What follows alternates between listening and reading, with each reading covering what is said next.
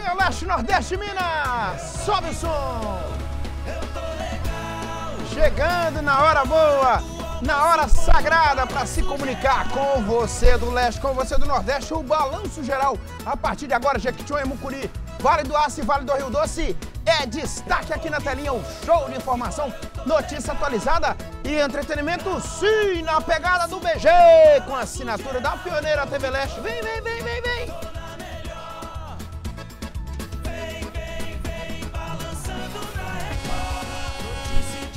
Tem tudo aqui no BG. Eu aqui, você aí, parceria que deu certo para inaugurar a semana de informação. Não me abandone, vem comigo.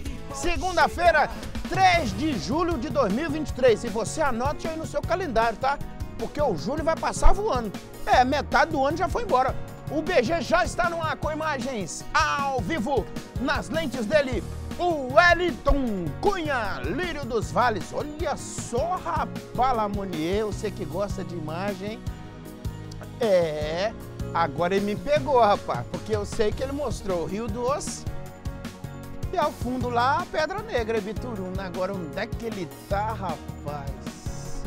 É, em perspectiva aí parece Bairro São Paulo, é isso mesmo, produção? Bairro São Paulo aí, ó. Alô, Lamonier acertou. Wellington Cunha, parabéns, garoto. Que fotografia bela, hein? É nesse minuto que o pessoal tira foto em casa para mandar aqui, sabia? Para falar assim, tô acompanhando o balanço. O balanço. É. Aí sai lá, hoje é segunda-feira, 3 de julho, com essa imagem maravilhosa. Aí você pode parabenizar também na fotografia o Wellington Cunha, porque é dele essa idealização aí, ó. Cês, aplausos para o Wellington Cunha, aplausos para Rio Doce, e Bituruna, Leste e Nordeste. Tamo junto! Tem também imagens da câmera da TV Leste aí, ó. É, diretor, hoje eu vou te pegar, hein? Aí, tá instalado aqui no prédio da emissora na Vila Rica, mostrando em perspectiva lá ah, um pedaço da Vila Bretas e um pedaço também lá da cidade, né? Mas é, tem sol, diretor, ficou fácil sua tarefa? Por que que essas nuvens estão mais assim, digamos, espalhadas?